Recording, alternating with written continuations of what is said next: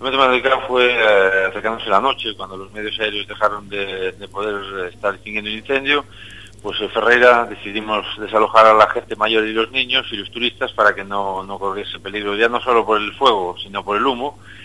Y ahí fue un momento más crítico, porque claro, los medios aéreos son un sitio muy agreste, muy, muy difícil llegar por medios terrestres, pues tuvimos un poco de susto, pero vamos, ya está controlado. Tanto los bomberos de Asturias como eh, los, la- eh, los de Tineo Sí. hicieron un trabajo allí algo difícil y bueno, está controlado. Ahora estamos enfriándolo para que no, no vuelva a reproducirse.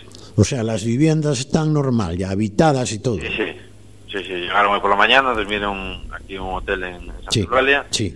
y ahora están ya, eh, ya a sus pueblos y todo, todo tranquilo.